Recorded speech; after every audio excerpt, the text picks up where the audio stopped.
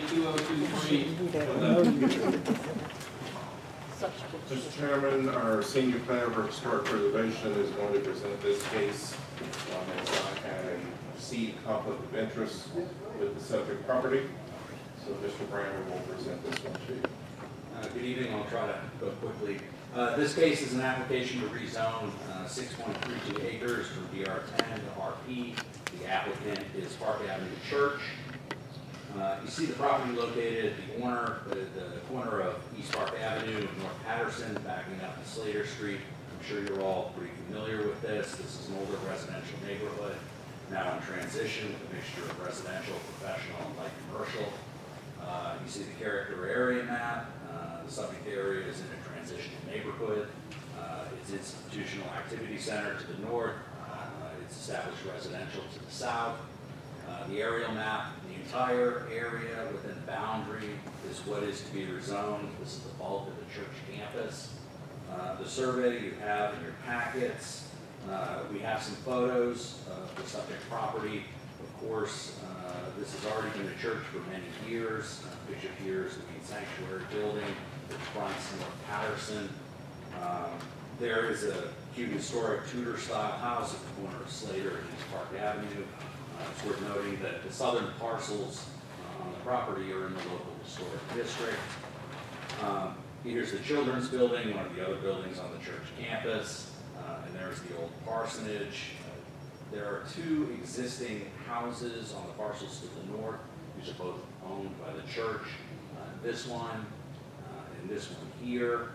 We also uh, have a view from the interior of the campus, uh, and then another one.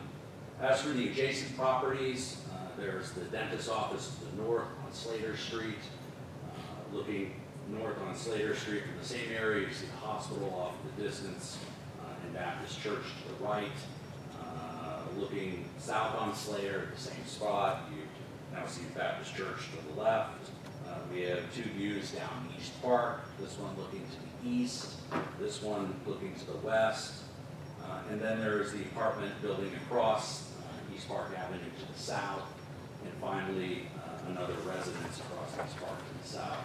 Uh, In sum, staff has reviewed the application, found it consistent with both the comprehensive plan uh, and the emerging land use pattern in the area. Uh, This really just rectifies an outdated zoning classification uh, for the existing use of the property, which is now, of course, the church. It also helps prepare the church for future growth in the area. So therefore, staff recommends approval as proposed. I'll take any questions. The Commission has any, otherwise, thank you. Any questions for the presenter?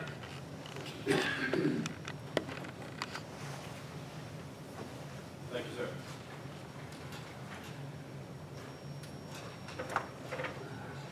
So we'll now enter the public hearing portion for this application. Is anyone here who would like to speak in favor of this application? Please come forward, state your name and address for the record. Uh, Brad Folsom, twenty-six eleven North Patterson, Valdosta. I'm a lady at Park Avenue, just in case y'all have any questions. All I would have to say this late hour is God's in favor of this rezoning application. Amen. I need you to have that recording. Thank you. Thank you for that very succinct explanation. I would ask if there was anyone else here, uh, who'd like to speak in favor, I don't see anyone. Is there anyone here who would like to speak in opposition to this application? I see no one, so, uh, that will close the public hearing portion on this case. Uh, commissioners, any other questions for staff or comments? Then Other business? that's it, we have to vote You're out on this one, Patrick. Cool. Got it. So, um, uh, I'll entertain a motion. Mr. Chairman, motion, recommend approval. We have a- we have recommendation of approval by Commissioner Willis, and the second by Commissioner Grant. All in favor of the motion to approve? Yes, sir. Say raise your. Um, We did have, uh, the commissioners will sit tight just a minute, we have one last item which is on the agenda.